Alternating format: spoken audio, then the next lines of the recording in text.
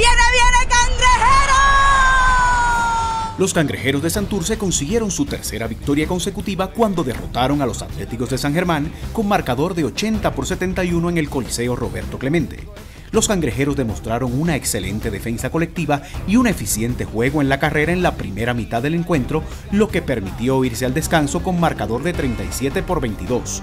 El partido fue uno bastante cómodo para los locales, consiguiendo tiros abiertos del área de tres puntos o jugadores descubiertos cerca del canasto.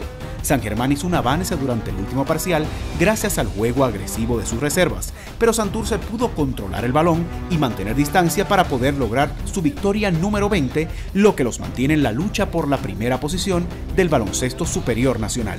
Los mejores anotadores por Santurce lo fueron Alex Galindo con 16 y Edgar Sosa con 16. Por San Germán los mejores lo fueron Donald Copeland y Richard Cheney con 12 cada uno. Eh, bueno, un juego importante para nosotros, eh, para terminar la temporada regular, los últimos partidos que nos quedan es importante que terminemos con buen ritmo.